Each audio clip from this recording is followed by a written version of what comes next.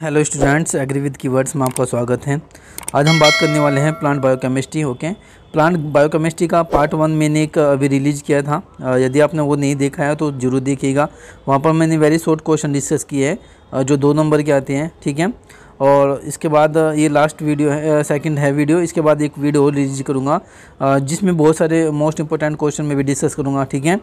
तो सबसे पहले आज हम बात करेंगे इसमें से जो शॉर्ट क्वेश्चन होते हैं पाँच नंबर के और जो लॉन्ग क्वेश्चन होते हैं उस उन सभी क्वेश्चन को हम डिस्कस करेंगे।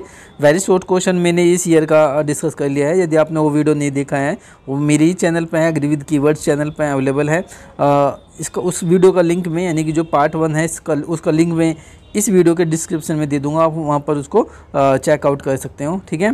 तो स्टार्ट करते हैं। सबसे पहले हमने क्वेश्चन अगर बात करें तो यहाँ पर पाँच क्वेश्चन होते हैं। टू क्वेश्चन अटैम्प्ट करने होते हैं। एक क्वेश्चन पाँच नंबर का होता है। सबसे पहले क्वेश्चन पूछा गया है, विटामिन डी के स्रोत एवं अभाव के लक्षणों का वर्णन कीजिए। विटामिन डी के क्या स्रोत हैं? उसका अभाव के लक्षण क्या है? यानी कि अगर आपको विटामिन डी ना मिले तो आपको क्या प्रॉब्लम हो सकती है? अगर आपको विटामिन ना मिले, अगर विटामिन डी कहाँ कहाँ से मिलेंगे, उसके स्रोत क्या क्या हैं, वो सब यहाँ पर हम डिस्कस करने वाले स्टूडेंट, ठीक है? तो सबसे पहले जो क्वेश्चन है, ये क्वेश्चन हिंदी और इंग्लिश दोनों भाषा में रहेगा। आपको पता ही है कि ये वीडियो जो होता है, वीडियो को पूरा देखिए स्टूडेंट्स आपको यहाँ पर एग्ज़ाम में जो मैं क्वेश्चन डिस्कस करूँगा, वो क्वेश्चन आपको एग्ज़ाम में ज़रूर मिलेंगे। आप उन क्वेश्चन को हेडिंग ज़रूर याद कर लेना हेडिंग हेडिंग याद कर लेना, ठीक है? पूरा नहीं पढ़ पाओगे, मुझे भी पता है, लेकिन हेडिंग को फोकस कीजिएगा, ठीक है? अगर आप हेडिंग को ज़्यादा फोकस करोगे तो नंबर अच्छे आने की संभावना है।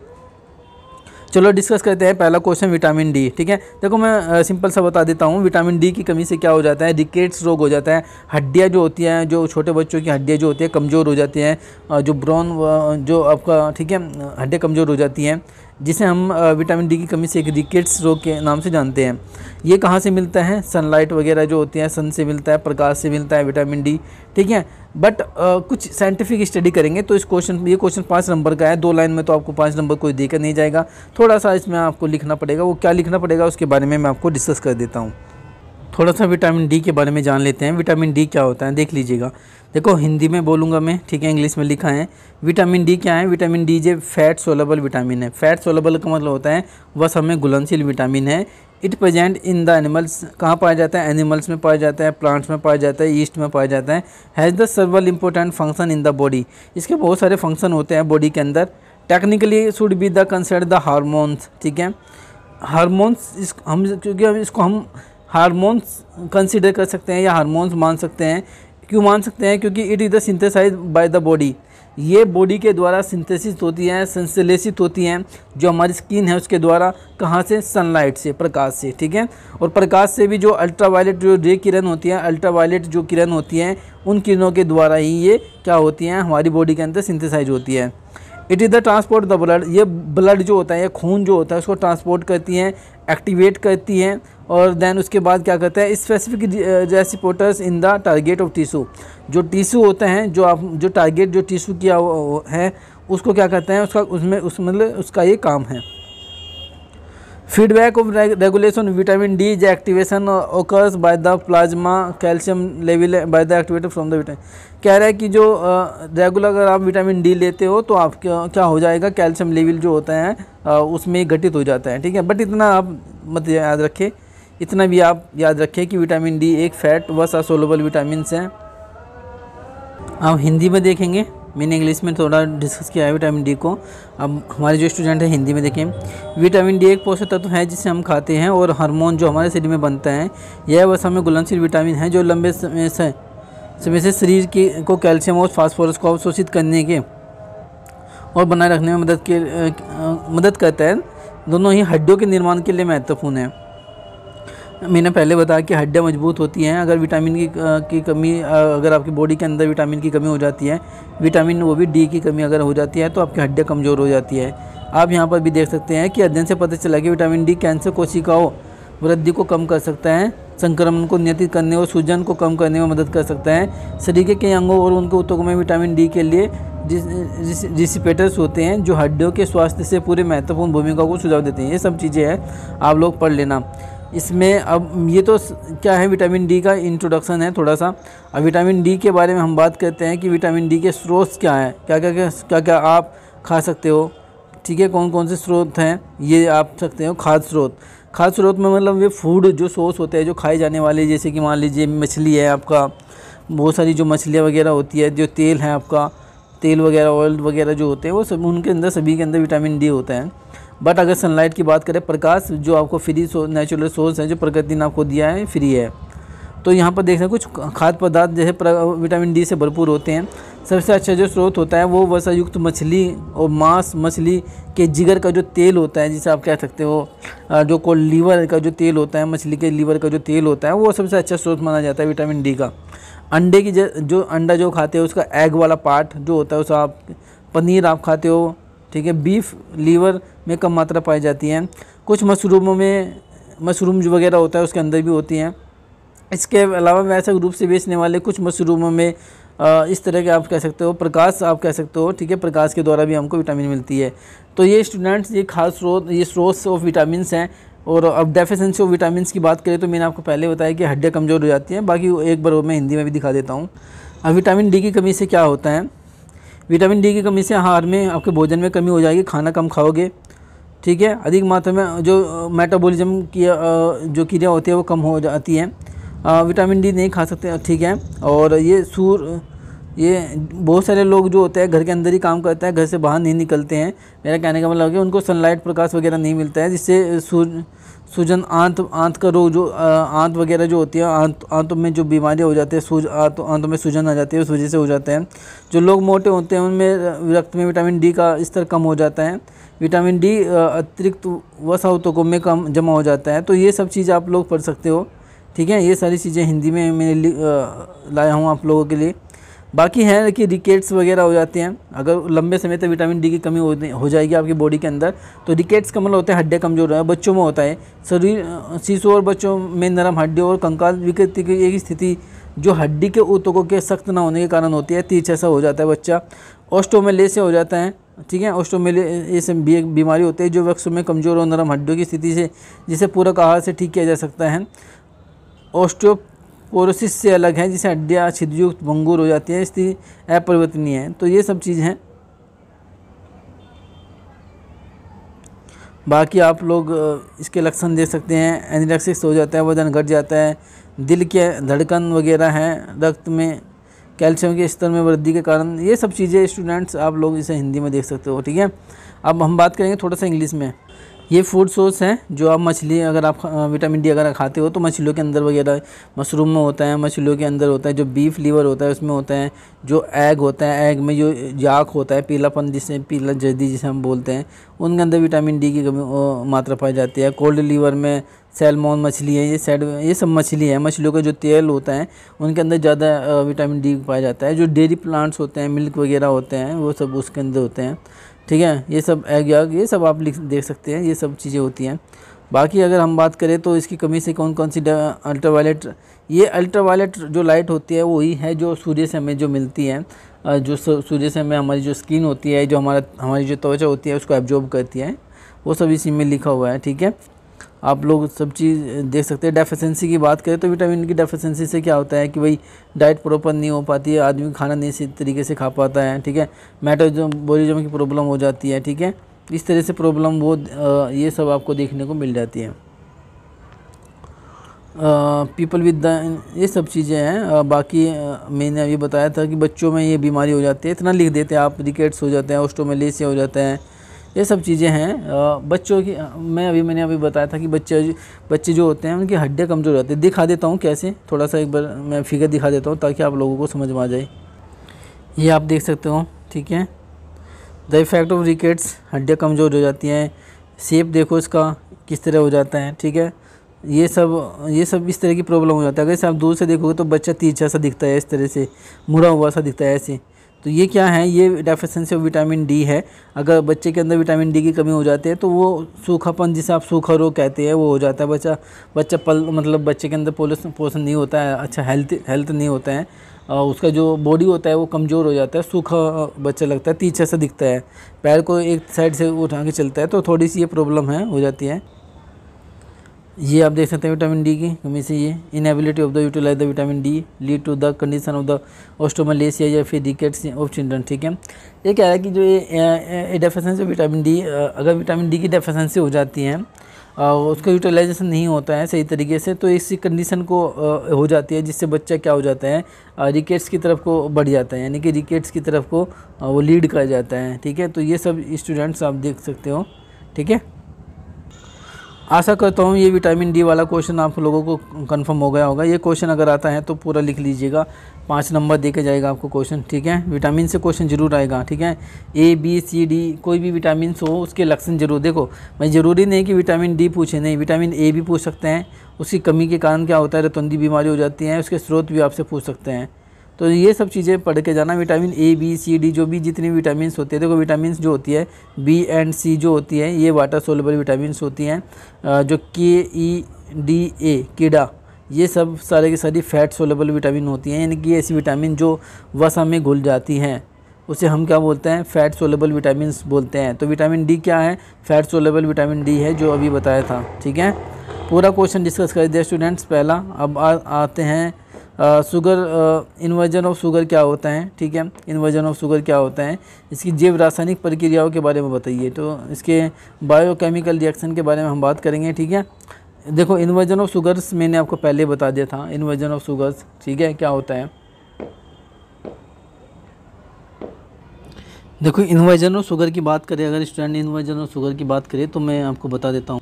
देखो इन्वर्जन ऑफ़ शुगर की अगर मैं बात करूँ तो इसका मतलब क्या होता है स्टूडेंट्स बहुत ही सिंपल वे में समझाता हूँ मैं आप लोगों को, ठीक है? इन्वर्जन ऑफ़ शुगर का मतलब होता है what is the sugar inversion okay what is the sugar inversion inversion version inversion version का उल्टा जिसे बोलते हैं। द इन्वर्जन ऑफ़ बीट या कैन शुगर ये तो आप चुकंदर की बात करेंगे, या गन्ने की बात करेंगे। The chemical the chemical conversion of the sucrose in solution into glucose and fructose okay जब अगर हम कह सकते हैं कि यानी कि जो बीट होती हैं या जो कैन शुगर होता है, जब उसका केमिकल कन्वर्जन हो जाता है, conversion of sucrose in solution, ठीक है, इनटू किसमें ग्लूकोज एंड फ्रक्टोज में। तो उसे हम क्या बोलते हैं? केमिकल कन्वर्जन बोलते हैं, ठीक है, या आप कह सकते हैं शुगर इन्वर्जन बोलते हैं। शुगर इन्वर्जन क्या है? The inversion of beet. किसका इन्वर्जन होना स्टूडेंट? चुकंदर का होना या कैन शुगर का होना, यानी कि गन्ने का होना। Is the chemical conversion of sucrose sucrose in solution into glucose and fructose okay this process is enhanced by acid and high temperature किसके द्वारा इन्हेंस्ड होती है? किसके द्वारा बढ़ावा इसको मिलता है? एसिड के द्वारा मिलता है, अम्ल के द्वारा मिलता है, वो हाई टेम्परेचर के द्वारा मिलते हैं।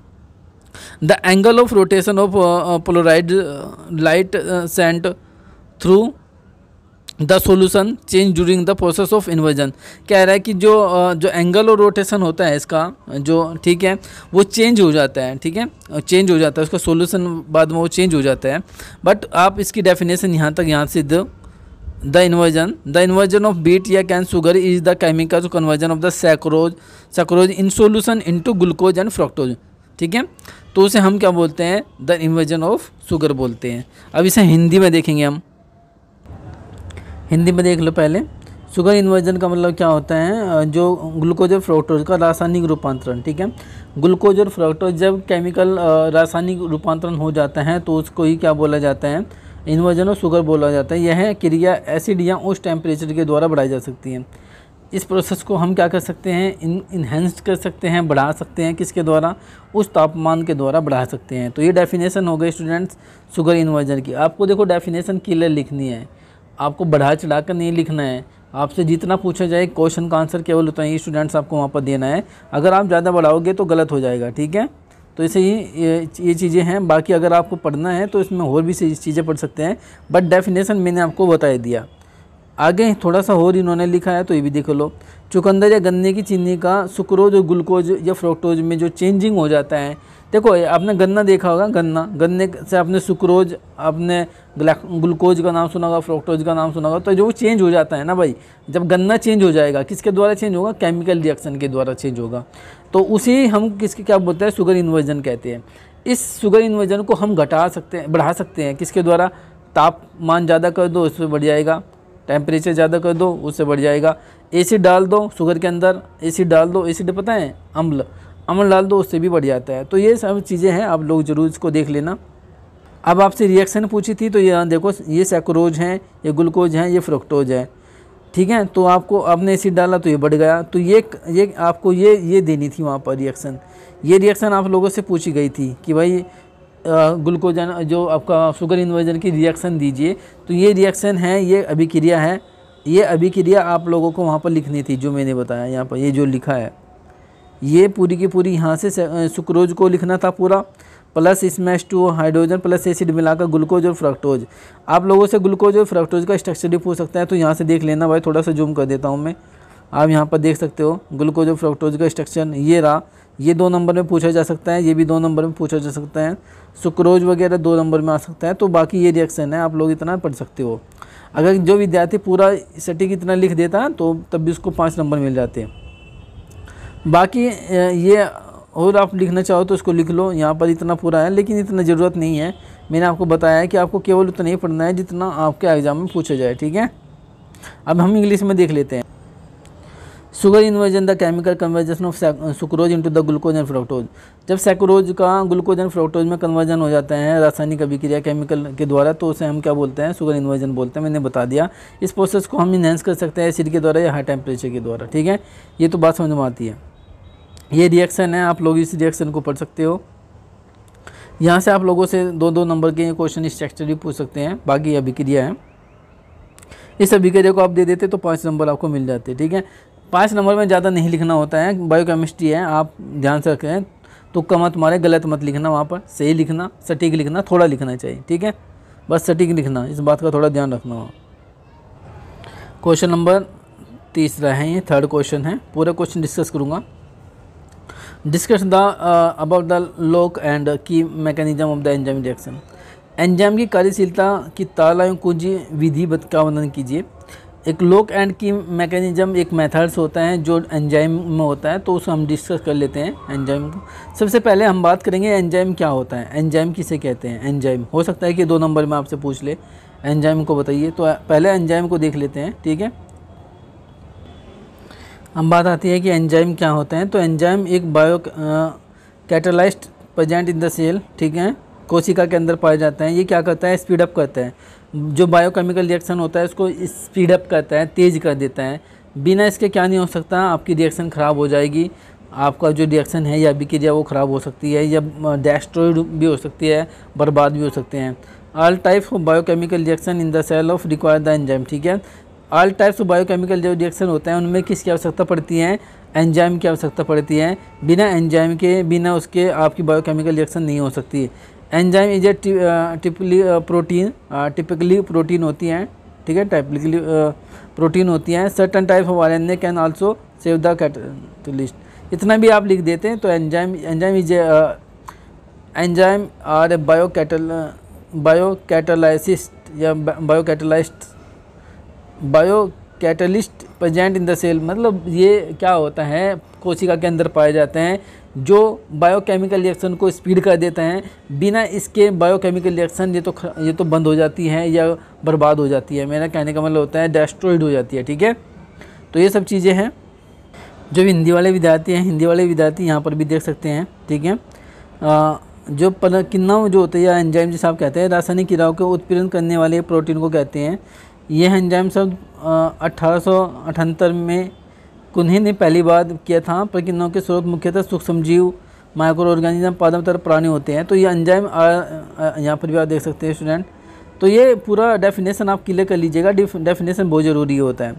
देखो, जो एंजाइम होता है, वो एंजाइम कहाँ पाया जाता है? कोशिका में पाया जाता है, ठीक है? एनिमल्स कोशिका होते हैं प्लांट कोशिका होते हैं, उनके अंदर आप कह सकते हैं कि जो प्रोटीन वगैरह होती है या उत्प्रेरण जो होता है कैटलिस्ट वगैरह का मतलब होता है कैटलिस्ट का मतलब होता है उत्प्रेरण करना।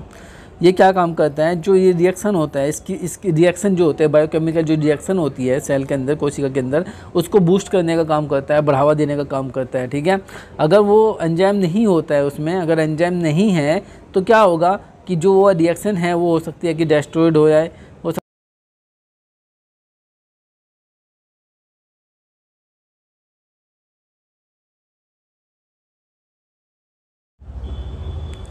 ये आपका सबस्टेंस है, कोई पदार्थ है, वो आपका ये एंजाइम है, ठीक है? अब देखो यहाँ पर क्वेश्चन क्या पूछा जाता है? The lock and key model most important question है, पाँच नंबर का क्वेश्चन पूछा गया है। इस क्वेश्चन में क्या करना था आपको? इसमें आपको एक कॉन्सेप्ट था, एक मॉडल था, उसको डिस्कस करना था। The lock and key the hypothesis is focus on the active site सबसे पहली बात, ये जो लोक एंड की जो हाइपोथेसिस है, जो किस पर फोकस करता है एक्टिव साइट पर फोकस करते हैं। The active site of enzyme has a very unique geometric shape okay geometric shape में रहता है वो। Only complementary to the specific substrate molecule okay the active site of enzyme has a very unique geometric shape okay जो active site होता है enzyme का, वो क्या होता है? वेरी यूनिक होता है, ठीक है?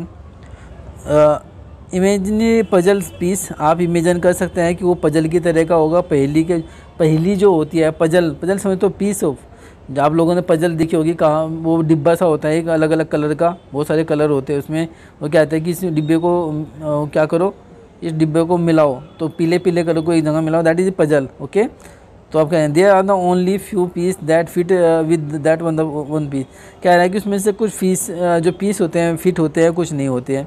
बिकॉज़ क्यों नहीं होते? Because active site are so geometric unique जो एक्टिव साइट होती है, उसका वो क्या होता है जियोमेट्रिक होती है और अलग अलग तरीके के यूनिक मतलब होते हैं अलग दिखना, ठीक है? ये सब आप देख सकते हैं, ये एंजिम एंजाइम है और ये एक्टिव साइट है, इस तरह की, और ये सबस्टेंस जब इसमें मिल जाएगा तो ये सारा सारा लॉक हो जाएगा, ठीक है? ये लॉक हो जाएगा आपका, ठीक है? In order to explain why enzyme have the such the high level अच्छा स्पेसिफिसिटी स्पेसिसिटी आप कह सकते हो जो या फिर आप इस तरह से। किसने दिया था ये सब चीज़ें हैं? आपको इतना लिखना था इसमें।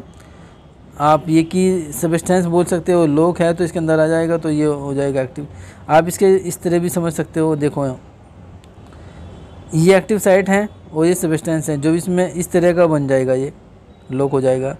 या फिर इसे सबस्टेंस बोल सकते हैं, कोई भी पदार्थ है और ये लोक है तो इसके अंदर, ये एंजाइम के अंदर इस तरह का हो जाएगा। तो दैट इज़ ये मोस्ट इंपॉर्टेंट था। आप इसे ज़रूर पढ़ सकते थे स्टूडेंट से पढ़, ज़रूर पढ़ के जाइएगा। कुछ नहीं है, इसमें पाँच सात लाइनें हैं ठीक है? किसने काम किया था इसमें? नोबल प्राइज़ केमिस्ट्री 1902 में इसको मिला है डॉक्टर हरमन इमी को हरमन हिमर फीसी फिसर ये सब है। मोमेंट ऑफ़ रॉक ये सब। बस इतना आपको देना था, पाँच नंबर आपको मिल जाते, और क्या है? कुछ नहीं करना है इसमें। अब हम लोग लॉन्ग क्वेश्चन के बारे में बात करेंगे। स्टूडेंट जो लॉन्ग क्वेश्चन होते हैं, उनके बारे में बात की जाएगा, ठीक है? स्टूडेंट अब लॉन्ग क्वेश्चन के बारे में बात होंगी, जो लॉन्ग क्वेश्चन होते हैं आपके यहाँ, ठीक है? दस दस नंबर के। ये क्वेश्चन पाँच हैं, इनमें से आपको कौन, कितने क्वेश्चन तीन क्वेश्चन आपको अटैम्प्ट करने हैं। एक क्वेश्चन दस नंबर का है, तीन क्वेश्चन तीस नंबर के। मोस्ट इंपॉर्टेंट पार्ट है ये भी आपके एग्ज़ाम का। बहुत इंपॉर्टेंट पार्ट है। जो क्वेश्चन यहाँ पर डिस्कस करूँगा, वहाँ आपको एग्ज़ाम में देखने को मिलेंगे। सबसे पहले जो क्वेश्चन है क्लासीफाई द प्रोटीन ठीक है? Base composition and solubility describe the physiological and biological importance of protein most important question है प्रोटीन से। क्वेश्चन ज़रूर आएगा आपके एग्ज़ाम में। दस नंबर का ये देख लेना एग्ज़ाम में ज़रूर आएगा। बायोकेमिस्ट्री का इंपॉर्टेंस रोल क्या है? होता है एग्रीकल्चर में, वो ज़रूर आएगा। स्टूडेंट उससे पढ़ कर जाइएगा, ठीक है? और बाकी सबसे पहले हम बात कर लेते हैं आ, हिंदी की बात करें तो हिंदी में लिखा है संगठन एवं घुलनशीलता के आधार पर प्रोटीन को वर्गीकृत करना है। जो क्लासिफिकेशन ऑफ़ प्रोटीन है उसको संगठन और घुलनशीलता के आधार पर। उसका कंपोजिशन क्या है उसका सोलिबिलिटी क्या है उसके बारे में हम बात करेंगे। उसका देरी का देरी कहा या जैविक महत्व क्या है वो डिस्कस होगा। तो पहला जो क्वेश्चन है प्रोटीन से है तो प्रोटीन को डिस्कस करते हैं। पहला जो डेफिनेशन है वो है प्रोटीन प्रोटीन किसे कहते हैं? प्रोटीन ये is a large is a large molecules consisting of amino acids which our bodies and the and the cells in our bodies need to function properly okay protein क्या है? Protein जो होता है मो, जो मोलिकुल से बना होता है बड़े बड़े मोलिकुल से मिलकर बना होता है जो जिनका नाम होता है अमीनो एसिड ठीक है? ये हमारी बॉडी जो सेल्स होती है, कोशिका वगैरह जो होती है, जो हमारी बॉडी है, उसके लिए सही तरीके से हमारी बॉडी सही तरीके से काम करे, सही तरीके से वो प्रॉपरली फ़ंक्शन करे, उसके लिए क्या, किसकी आवश्यकता होती है? मोलिकुल्स की आवश्यकता होती है, और वो, उसमें वो क्या है? प्रोटीन है ओके प्रोटीन है वो। बिना इसके our body the structure function regulation body cells tissue organs can not be exist without protein अगर आप स्ट्रक्चर फ़ंक्शन रेगुलेशन की बात करें, ठीक है टिश्यू की बात करें ऑर्गन की बात करें तो बिना प्रोटीन के विदाउट प्रोटीन के ये एडजस्ट नहीं है। एग्जिस्ट नहीं करते हैं। कहने का मतलब है, अगर आपकी बॉडी के अंदर प्रोटीन नहीं है तो स्ट्रक्चर सही तरीके से नहीं होगा फ़ंक्शन सही तरीके से नहीं होगा। रेगुलेशन ऑफ़ द बॉडी आपकी बॉडी सही तरीके से काम नहीं करेगी। बॉडी की जो कोशिकाएँ होती हैं, वो सही तरीके से काम नहीं करेगी। बॉडी के जो ऊतक होते हैं, जो टिश्यू होते हैं, जो ऑर्गन होते हैं सही तरीके से एडजस्ट नहीं कर पाएँगे।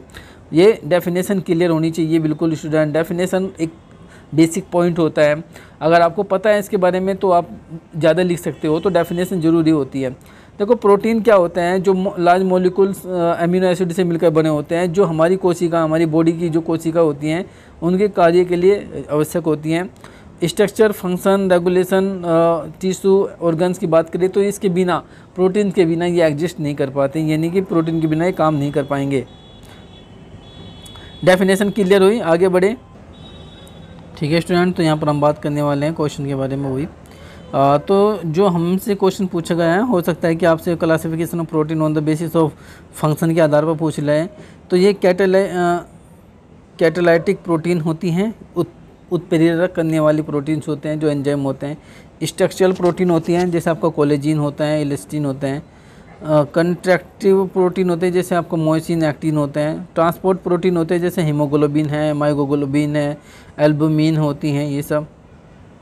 Regulatory protein in the hormones A, C, T, H होते हैं, इंसुलिन, ग्रोथ हार्मोन्स जिसे आप कह सकते हो। तो ये क्लासिफिकेशन ऑन द फ़ंक्शन है। जेनेटिक्स प्रोटीन होते हैं, जैसे आपका हिस्टोन हिस्टोन, हिस्टोनिस होती हैं। प्रोटेक्टेड प्रोटीन होते हैं, जैसे हीमोग्लोबिन्स होती हैं, आपका क्लोटिंग फैक्टर्स वाली प्रोटीन्स होती है। On the basis of composition and solubility ये आपसे पूछा है। तो according to this classification protein are divide into the three main groups simple conjugative and drive derived protein तीन प्रकार से प्रोटीन होती हैं। सिंपल प्रोटीन में क्या होता है? Only hydrolysis given the only amino acid जहाँ पर केवल हाइड्रोलाइसिस होता है अमीनो एसिड का। Examples albumin and globulin, globulins, ठीक है? प्रजेंट इन एग्स जो एग वगैरह होते हैं, जो अंडे होती हैं, दूध होते हैं, जो ब्लड होता है, उसके अंदर ये प्रोटीन पाई जाती है। They are protein of the high biological value इनका बायोलॉजिकल वैल्यू बहुत ज़्यादा होता है।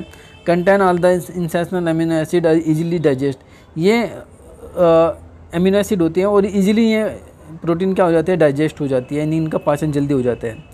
Albumin is the protein made by the liver liver के लिए बाय द लीवर लीवर के द्वारा बनता है ये। It make up the sixty percent of the total protein in the blood पूरी बॉडी का, जो ब्लड होता है, उसका सिक्सटी परसेंट कौन सी प्रोटीन होती है? आपकी एल्बुमिन प्रोटीन होती है। मैनी रोल्स निभाती हैं। बहुत सारी इसका फ़ंक्शन है। Albumin keeps the fluids from the leakage out of the blood vessels and transport the hormones hormones को ट्रांसपोर्ट करती हैं स्टूडेंट्स ठीक है? बहुत इंपॉर्टेंट क्वेश्चन है। Level uh, levels of the aluminum may decrease to greater or lesser degree uh, degree when the condition uh, in interfere with the production of the liver okay increase protein breakdown the increase the protein lose uh, lose lose via the kidney ठीक है expand the plasma volume ये सब चीज़ें deal आपका blood वगैरह कम हो जाता है बहुत सारी प्रॉब्लम इसमें किडनी वगैरह होती हैं वो लूज हो जाती है सब चीज़ें हैं why the two important causes the blood albumin include the आपका लीवर डिज़ीज़ प्रॉब्लम हो सकती है किडनी डिज़ीज़ प्रॉब्लम हो सकती हैं प्लाज्मा प्रोटीन ये सब चीज़ें हैं, ये मोस्ट इम्पोर्टेंट हैं two important causes of the low blood albumin अगर आपकी ब्लड के अंदर एल्बुमिन की मात्रा कम है तो आपको लीवर की बीमारी हो सकती है किडनी की बीमारी हो सकती है। बहुत ही सिंपल वे मैं बता रहा हूँ आपको। ग्लोबुलिन की बात करें तो ग्लोबुलिन्स एक प्रोटीन्स होती हैं। Globulin the family globulus protein have the higher molecular weight than albumin albumin से ज़्यादा इसका मोलिकुल वेट होता है। Insoluble in a pure water but dissolve in the dilute salt solution जो शुद्ध वाटर होता है, उसमें एक नहीं घुलती हैं बट अगर साल्ट उसमें मिला दिया जाए, नमक अगर मिला दी जाए तो वो घुल जाती है। कौन कौन सी होती है? एल्फा ए वन या ग्लोबिमिलिन जैसे आपका एंट्रा एंटी ट्रैप्सिन होती हैं, ग्लोबिन, हीमोग्लोबिन वगैरह ये सब चीज़ देख लेना।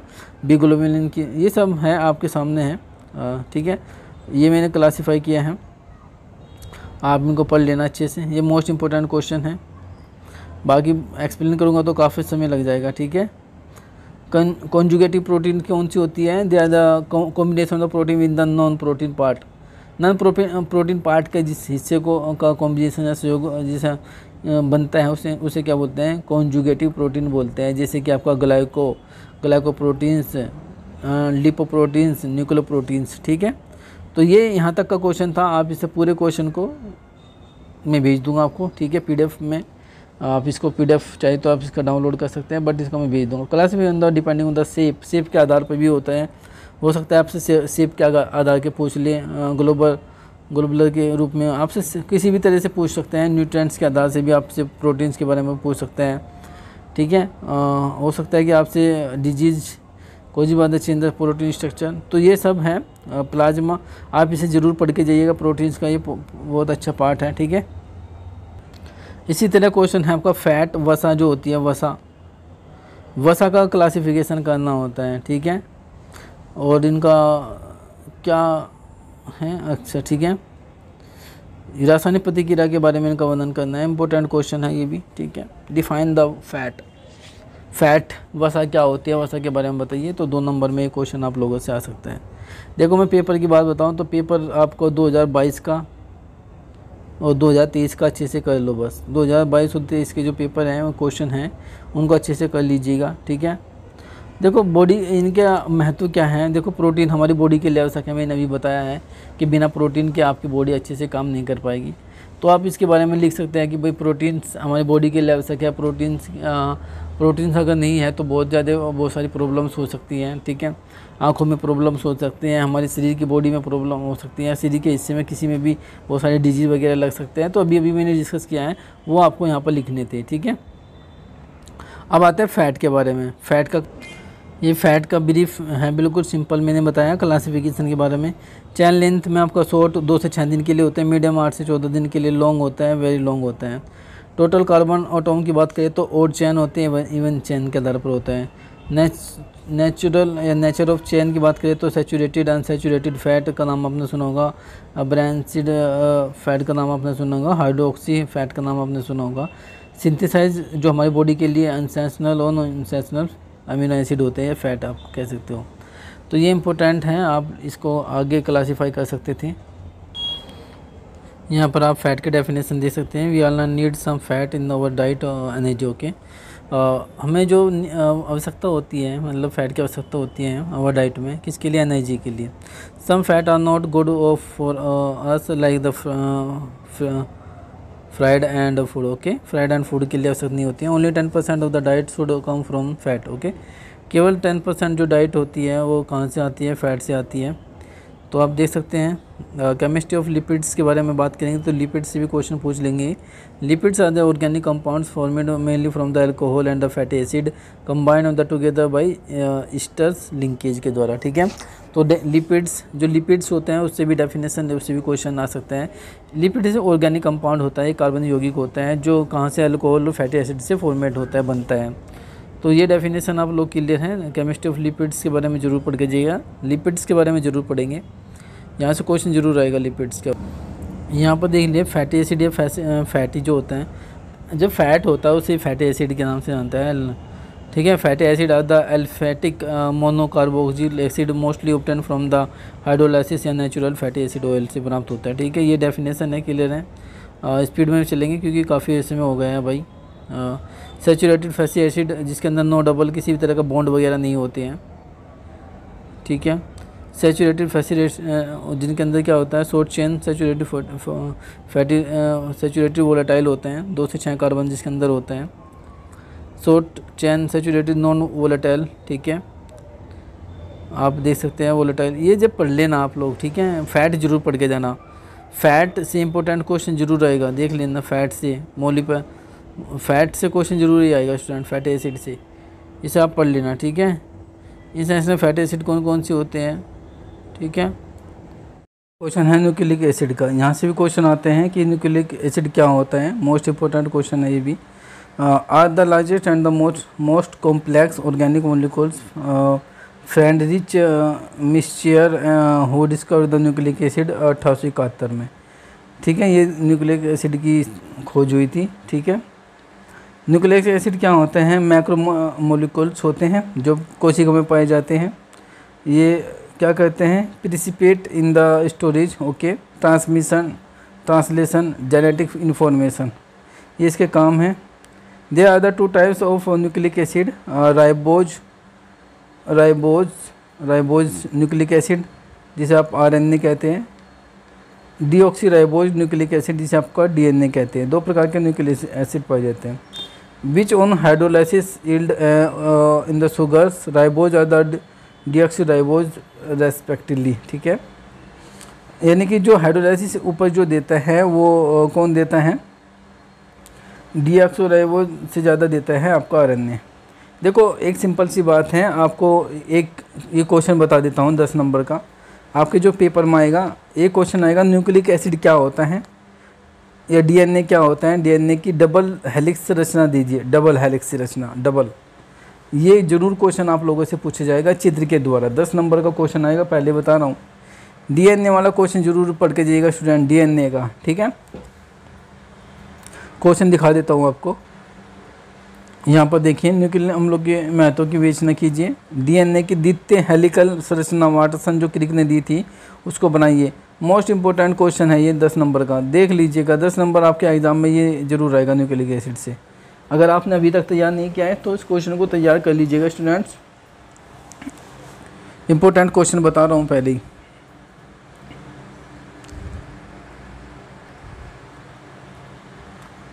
ठीक है, फास्ट आइसोलेटेड द सेल जो कोशिका वगैरह होती थी, उनसे, उनके न्यूक्लियस से ये वहाँ पर ये आइसोलेट की गई थी।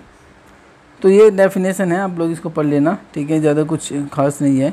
फ़ंक्शन ऑफ़ न्यूक्लियस के फ़ंक्शन क्या होते हैं? डीएनए के फ़ंक्शन क्या होते हैं? इंपॉर्टेंट क्वेश्चन है।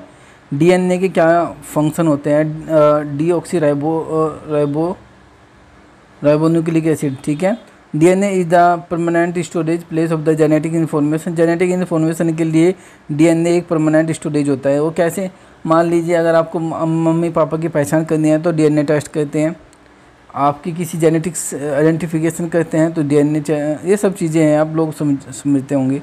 DNA control the synthesise of the R N S ribonucleic acid R N A को कंट्रोल करने जो आर एन ए का सिंथेसाइज होता है, उसको कंट्रोल कौन करता है? डीएनए कहता है। The sequence of the nitrogenous base in the DNA determinates the protein development in the new cells जब नई कोशिका में प्रोटीन बनता है तो उसको डिटर्मिनेट्स का काम कौन करता है? डीएनए कहते हैं। The function of the double helix formation of the DNA is insure that the no disorder the function of the double helix formation of the DNA is to insure that कि उसे कोई भी disorder नहीं हुआ है। This is the बिक of the second identical stand of the DNA that runs anti-parallel uh, to the first is a backup in the case lost of the destroy the genetic. Down syndromes या sickle cell anaemia वगैरह जो होते हैं वो ठीक है Down syndrome वगैरह बीमारी हो जाती है, वो सब इसी के अंदर देखी जाती है डीएनए के द्वारा ही। ये फंक्शनल है डीएनए का डबल हेलिक्स का। क्वेश्चन अभी आया था ना डीएनए का डबल हेलिक्स दे दिया वाटर जो कि इसने दिया था वाटरसन एंड क्रिक ने दिया था। तो ये आरएनए के फ़ंक्शन क्या होते हैं? राइबोन्यूक्लिक एसिडिक एसिड पूरा नाम पूछ लेंगे इसका। ये सिंथेसाइज करते हैं, किसके द्वारा सिंथेसाइज होता है? आरएनए के द्वारा सिंथेसाइज होता है। ट्रांसपो transportation of the genetics information the protein building the apparatus the cell R N also direct in the synthesis of new protein using the genetic information has the transport M R N A क्या होते हैं? Messenger ribonucleic acid इसका पूरा नाम भी पूछ लेते हैं कि एम आर एन ए क्या होता है। मैसेंजर राइबोन्यूक्लिक एसिड ये मैसेंजर करता है मैसेज करता है आर एन ए को, ठीक है? न्यूक्लिक एसिड्स के बारे में सब माइटोसिस म्योसिस वगैरह आप लोगों ने पढ़ी होगी। इम्पोर्टेंस की बात करें तो माइटोसिस म्योसिस प्रोवाइड नहीं रहना चाहिए कंपोजिशन की बात करें तो न्यूक्लिक के अंदर जो न्यूक्लिक एसिड होता है, उसके अंदर क्या क्या चीज़ें आती है? आप लोग सब पढ़ सकते हैं नाइट्रोजन इतने परसेंट होती है वेट इतना होना चाहिए, ठीक है? और फास्फोरस इतना होना चाहिए, ठीक है? ये सब इम्पोर्टेंस हैं। न्यूक्लिक एसिड के आप न्यूक्लोटाइड्स होते हैं, फास्फोरिक एसिड होते हैं न्यूक्लोसाइड्स होते हैं सुगर्स प्यूराइंस या ग्यूनाइंस या पैरामिडीन, ये सब हैं, आप लोग इसको लिख लेना। न्यूक्लिक एसिड के प्रकार डीएनए और आरएनए दो ही होते हैं। पॉलीपेप्टाइड्स भी पढ़ सकते हो आप, बिल्डिंग ब्लैक ब्लॉक है, न्यूक्लिक एसिड्स, डीएनए भी पढ़ सकते हो आप, डीएनए। ये सब पढ़ लेना अच्छे से। डीएनए डीएनए का वाटरसन क्रिक वाला जो मॉडल है वो ज़रूर पढ़ के जाइएगा डबल हेलिक्स वाला, ठीक है? आरएनए के प्रकार होता है, जैसे transfer of RNA T RNA बोलते हैं इसको T RNA ribo ribosomal RNA ठीक है, ये सब है। मैसेंजर आरएनए ये पढ़ लेना। प्रॉपर्टीज़ क्या है इसकी? इम्पोर्टेंस में ही आती है प्रॉपर्टीज़ भी, ठीक है? इम्पोर्टेंस में ही आती है प्रॉपर्टीज़ भी। ये सब पढ़ लेना स्टूडेंट्स ठीक है? शुगर सैंडो मोस्ट इम्पोर्टेंट है ये सब। देखो डबल इतना तो जो नहीं पढ़ पाएगा स्टूडेंट इतने समय में, लेकिन मैं पढ़ रहा हूँ, कह रहा हूँ कि डीएनए का डबल हेलिक्स मॉडल ज़रूर पढ़ के जाइएगा, ठीक है? ये डीएनए का स्ट्रक्चर है, ठीक है? स्ट्रक्चर ऑफ़ डीएनए है ये। स्ट्रक्चर ऑफ़ आरएनए प्रॉपर्टीज़ हैं, ठीक है? ये सब पढ़ लेना बाकी। म्यूटेशन वगैरह तो नहीं आती है सब कार्बोहाइड्रेट से क्वेश्चन पूछा जाता है क्लासीफाई द कार्बोहाइड्रेट। कार्बोहाइड्रेट का प्रकार बताइए, ठीक है? इसके अंदर फिर फ्रक्टोज, सुक्रोज, ग्लूकोज, इसका स्ट्रक्चर फार्मूला स्ट्रक्चर ज़रूर पढ़ के जाइएगा। वो मैं पहले ही बता रहा हूँ, पहले भी मैंने बताया था, इससे पहले वीडियो में ग्लूकोज, फ्रक्टोज, सुक्रोज वगैरह, उसका स्ट्रक्चर फार्मूला ज़रूर याद करके दीजिए, ठीक है? अगर नहीं पता है तो मैं दिखा देता हूँ, ठीक है? कार्बोहाइड्रेट का क्लासीफाई करना है मोलिकुलर स्ट्रक्चर के आधार पर। ऐसा नहीं कि कुछ भी आधार पर, नहीं, जो पूछा है उसके आधार पर। क्वेश्चन को ज़्यादा लंबा नहीं खींचना है, जितना आता है उतना ही करना है क्वेश्चन, ठीक है?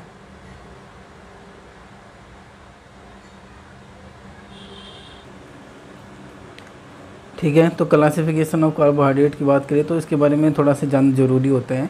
Carbohydrate is necessary necessary for all living things. जो जितने भी जीव जीव जंतु वगैरह है उनके लिए कार्बोहाइड्रेट ज़रूरी होता है जीने के लिए।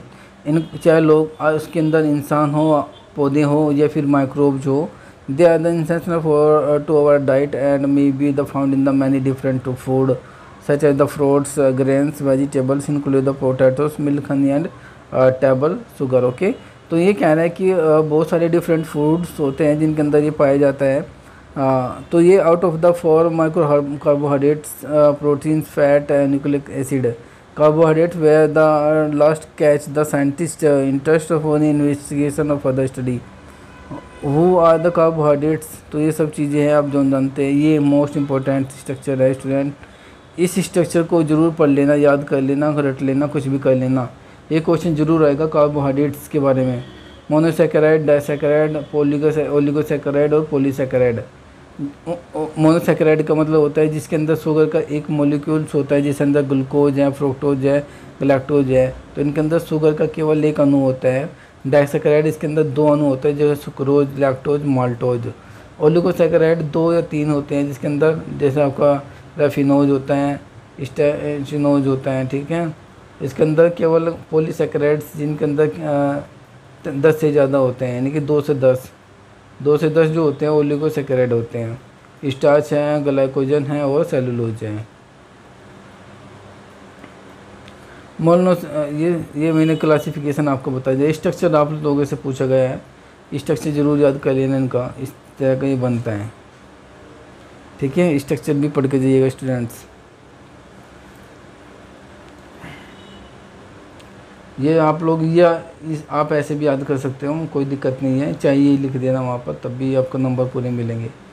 तो देखो क्लासीफाई मैंने बता दिया स्ट्रक्चर मैंने बता दिया, ठीक है? तो ये इंपॉर्टेंट क्वेश्चन है।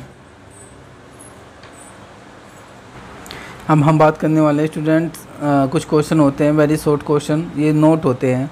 ये ज़रूर पूछा जाता है, ये क्वेश्चन दस नंबर का होता है एक होता है सेपो सेपोनिफिकेशन क्या होता है? सेपोनिफिकेशन वैल्यू पूछी है। देखो सेपोनिफिकेशन समझ लो पहले क्या होता है। जब साबुन बन, साबुन बनता है ना, साबुन बनने की जो प्रोसेस होती है, जो प्रक्रिया होते हैं, उसे हम सेपोनिफिकेशन बोलते हैं। कितना परसेंट होना चाहिए, वो वैल्यू पूछा है तो आगे डिस्कस करेंगे। एलोस्टिक एंजाइम क्या होते हैं? डी न्यूट्रिशन ऑफ़ प्रोटीन्स क्या होता है? प्रोटीन का विकृतकरण होना। प्रोटीन का विकृतकरण होना, उसे हम बोलते हैं डी न्यूट्रलाइजेशन होना। स्टार्च क्या होता है उसके बारे में पूछेंगे। नॉन इंसेशनल अमीनो एसिड क्या होते हैं, क्या होते हैं अमीनो एसिड क्या होते हैं, इसके बारे में मैंने पहले भी वीडियो में बताया हुआ है। यदि आपने वो वीडियो नहीं देखा तो देख लेना ज़रूरी है, ये बहुत ज़रूरी है। ये मोस्ट इंपॉर्टेंट क्वेश्चन है, दो नंबर का हर पर पूछा जाता है, पिछले पेपर में पूछा गया, अब में भी, कल में भी आ सकते हैं, कल को, कल भी आ सकते हैं। यानी कि वे एसिड जो हमारी बॉडी के लिए आवश्यक होते हैं, उन्हें बोलते हैं एमिनो एसिड जो हमारी बॉडी के लिए आवश्यक नहीं होते, उसे बोलते हैं नॉन इंसेशनल अमीनो एसिड तो पहले हम देखते हैं सेपोनिफिकेशन वैल्यू ठीक है?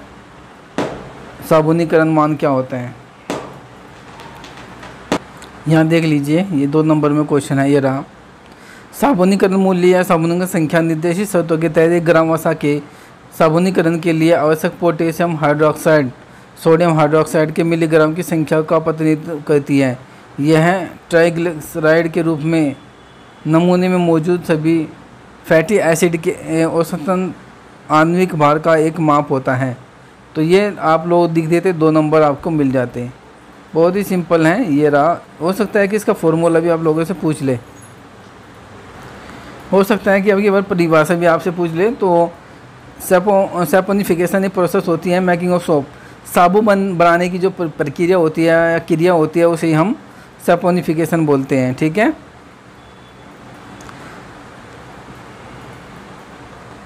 फॉर्मूला की बात करें तो formula fat plus chemical salt plus water is equal to आपका ग्लेसरोल एंड फैटी एसिड या साल्ट तो इससे ही बनता है आपका साबुन, ठीक है? तो ये देख लेना इम्पोर्टेंट क्वेश्चन है। ये अमीनो एसिड है, ये इंसेंशनल है, ये नॉन इंसेंशनल है। ये आवश्यक है, ये हमारी बॉडी के लिए ज़रूरत है, इनकी आवश्यकता होती है। ये हमारी बॉडी के लिए आवश्यक नहीं है। देख, आपका हिस्टेडाइन होता है आइसोल्यूसिन होता है, लूसिन होते हैं, लाइसिन होते हैं, मैथोनिन होता है, ठीक है? ये सारी की सारी कौन सी हैं? इंसेंशनल अमीनो एसिड है। और नॉन इंसेंशनल यानी कि जो हमारी बॉडी के लिए आवश्यक नहीं है, जैसे आपका एलिनिन है एजिनिन है एस्पेरेजिन है एस्पेरेटिक एसिड है कास्टीन है ग्लो आपका ग्लोटेमिक एसिड है, ठीक है? ये सारी की सारी, ध्यान रखना, ठीक है? इनसे दो नंबर का क्वेश्चन पूछा गया है। स्टार्च की बात करें तो स्टार्च क्या है? स्टार्च एक टेस्ट लेस है। किसी तरह का कोई भी स्वाद इसके अंदर नहीं आता है। वाइट पाउडर होता है, सफ़ेद पाउडर होता है।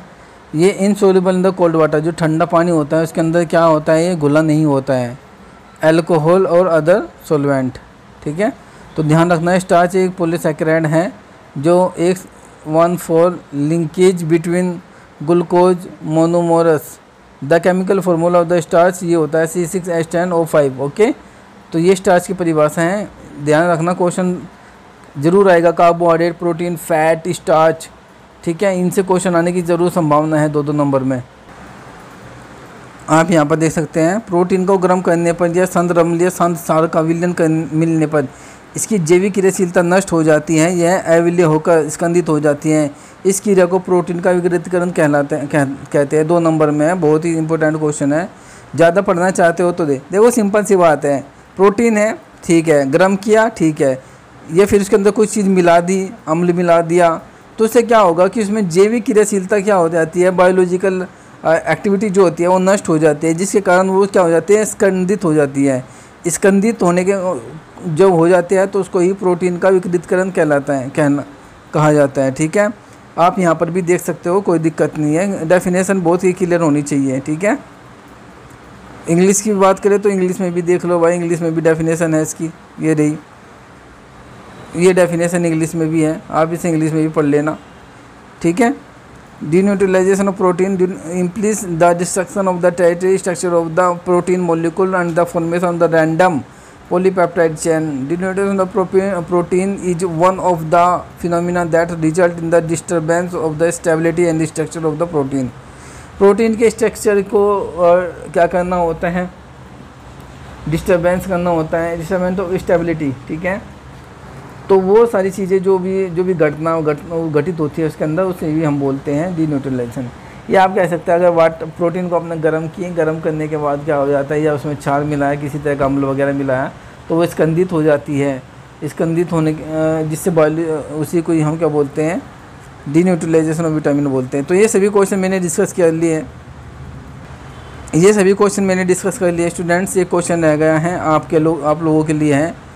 एलोस्ट्रिक एंजाइम क्या होता है? ठीक है, ये आप लोग ज़रूर मुझे कमेंट बॉक्स में कमेंट करें। एलोस्ट्रिक एंजाइम किसे कहते हैं? अगर आपने पढ़ा है अभी तक, ज़रूर पढ़ के आई ठीक है? और बाकी मैं इसका आंसर आप लोगों को बता ही देता हूँ। कभी ये कोई कहे कि क्वेश्चन का आंसर नहीं मिला। जैव रसायन में एलोस्ट्रिक एनियम एंजाइम की सहक्रिया साइट के अलावा किसी अन्य साइट पर एक प्रभावक अणु को बांधकर एंजाइम का विनिमय है। जिस साइट पर प्रभावक बांधता है, उसे ही अरिस्टक साइट या नियामक साइट के नाम से जानते हैं। तो ये डेफिनेशन है हिंदी में। ज़रूर पढ़ के जाइएगा इसको भी। इंग्लिश में पढ़ना चाहते हो तो इंग्लिश में डेफिनेशन ये रही।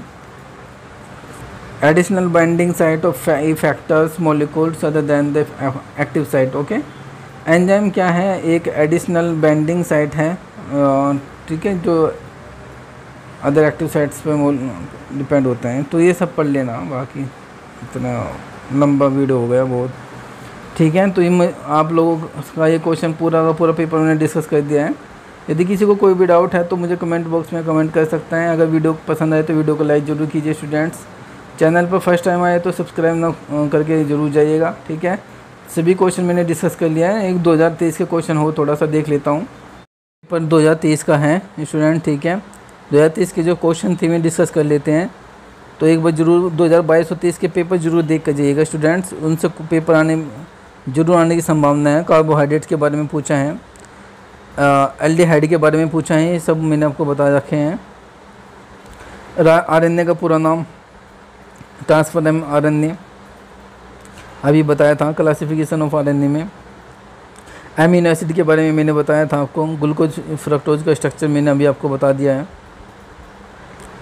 उसके बाद क्वेश्चन है बायोकेमिस्ट्री क्या होता है, इसके बारे में बताइए। एग्रीकल्चर में क्या इसका इम्पोर्टेंस है? ये आपके यहाँ दस नंबर का क्वेश्चन आने वाला है, ध्यान से रखना। बायोकेमिस्ट्री क्या है, इसका इंपॉर्टेंस बताइए। ज़रूर क्वेश्चन आएगा एग्रीकल्चर में भी आ सकता है कि एग्रीकल्चर में इसका इंपॉर्टेंस बताइए। प्रोटीन क्या होती हैं? प्रोटीन के बारे में इसका वर्गीकरण मैंने अभी बताया था। Classification of protein on the basis of structure on the basis of solubility ठीक है? वो ज़रूर पूछेंगे। वसा वसा और तेल में क्या अंतर होता है? इसका क्या महत्व है? वसा से, वसा हमारी बॉडी के लिए बहुत ज़रूरी होती है। फैटी एसिड अभी मैंने बताया था। जो लीवर्स वगैरह डी जो किडनी जीजी वगैरह, उसको कंट्रोल करती है। ये सब क्वेश्चन मैंने डिस्कस कराए हैं। डीएनए का डबल हेलिक्स स्ट्रक्चर डीएनए का स्ट्रक्चर ज़रूर पढ़ के जाइएगा स्टूडेंट क्वेश्चन ज़रूर आएगा, ठीक है? फैट सोलेबल विटामिन के बारे में मैंने बताया था, केडा, विटामिन के, डी और E. Vitamin K, E, D और ए, ये क्या है? फैट सोलेबल विटामिन होती है। Ribose nucleic acid R N A transfer R N A ये सब इम्पोर्टेंट क्वेश्चन है स्टूडेंट। ठीक है, ये सारे क्वेश्चन मैंने आपको डिस्कस किए हुए हैं।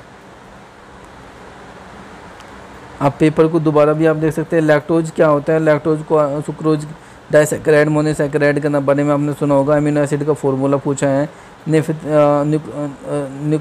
निफिथिलिन एसिटिक एसिड पूरा नाम पूछा है इसका। ये क्या होता है? ग्रोथ रेगुलेटर हार्मोन्स होते हैं ये सब लोग। ठीक है? बाकी सारे क्वेश्चन मैंने डिस्कस कर लिए हैं। कोई भी ऐसा क्वेश्चन नहीं है जो मैंने डिस्कस नहीं किया है। बाकी आप लोग अच्छे से ज़रूर पढ़ के जाइएगा। ठीक है? और कल के लिए आपको बेस्ट ऑफ़ लक है। ठीक है? Thank you thank you everyone